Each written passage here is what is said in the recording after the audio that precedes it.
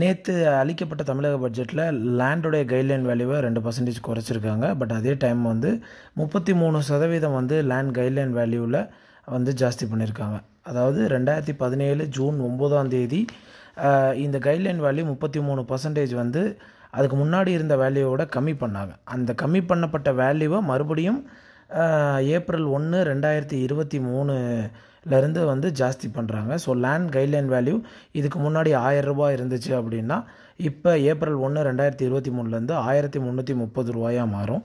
So அதில் என்ன ரெஸ்- நிலம் வாங்குறவங்களுக்கு என்ன ப்ளஸ்ஸு மைனஸ் அப்படின்னு தெரிஞ்சுக்கிறது தான் இந்த வீடியோவுடைய அலசல். ஏ- ஏப்ரல் ஒன்று ரெண்டாயிரத்தி இருபத்தி மூணு வரைக்கும் நீங்கள் வந்து ஒரு ஒரு சதுர அடி ஆயிரம் லேண்ட் கைட்லைன் வேல்யூவாக இருந்துச்சு அப்படின்னா அதுக்கு ஸ்டாம்ப் டியூட்டி வந்து ஏழு பர்சன்டேஜ் அதாவது எழுபது ரூபா. ப்ராப்பர்ட்டி டேக்ஸ் ரெண்டு பர்சன்டேஜ் இருபது ரூபா. ரெஜிஸ்ட்ரேஷன் டேக்ஸ் ரெண்டு பர்சன்டேஜ் இருபது ரூபா. ஆயிரத்தி நூற்றி பத்து ரூபா நூற்றி பத்து ரூபா தான் வந்து அதனுடைய பதிவு தொகையாக ஒரு சதுர அடிக்கு நீங்கள் செலவு பண்ண வேண்டியிருக்கும்.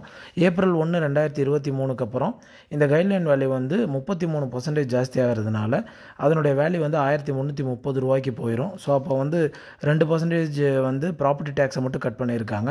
ஸோ ஸ்டாம்ப் டியூட்டி வந்து ஏழு பர்சன்டேஜ் போட்டிங்கன்னா ஆயிரத்தி முந்நூற்றி முப்பது ரூபாய்க்கு தொண்ணூற்றி மூணு ரூபா பத்து பைசா. ரெஜிஸ்ட்ரேஷன் டேக்ஸ் வந்து ரெண்டு பர்சன்டேஜ் இருபத்தி ஆறு ரூபா அறுபத்து அறுபது பைசா. கூட்டினா வந்து நூற்றி பத்தொம்போது ரூபா எழுபது பைசா. கிட்டத்தட்ட நூற்றி இருபது ரூபா.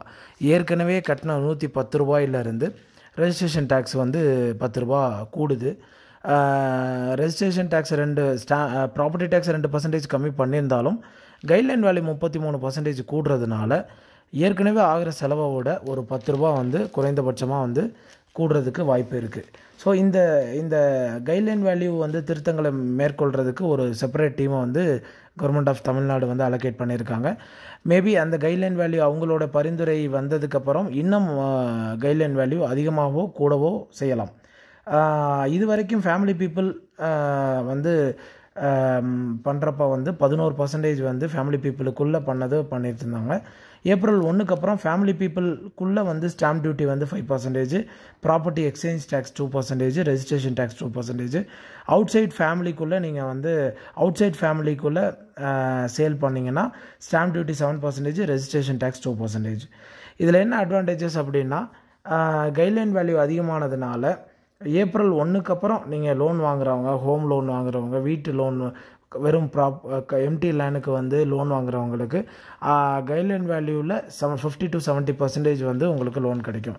ஸோ ஏற்கனவே கிடைத்த அமௌண்ட்டை விட அதிகபட்ச அமௌண்ட் வந்து கூடுதல் லோன் கிடைக்க வாய்ப்பு இருக்குது அதே நேரத்தில் ஏற்கனவே ஆகிற செலவை விட கூடுதல் செலவும் ஆக வாய்ப்பு இருக்குது ஸோ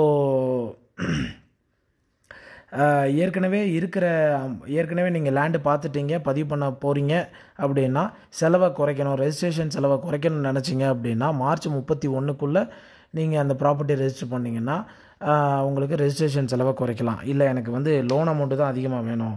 ஒரு பத்து நாள் வெயிட் பண்ணாலும் பரவாயில்ல. ஏப்ரல் ஒன்றுக்கு அப்புறம் லோன் வாங்கினா அதிக லோன் கிடைக்கும் அப்படின்னு நினச்சிங்க அப்படின்னா ஏப்ரல் ஒன்றுக்கு அப்புறம் நீங்கள் பதிவு பண்ணிக்கோங்க.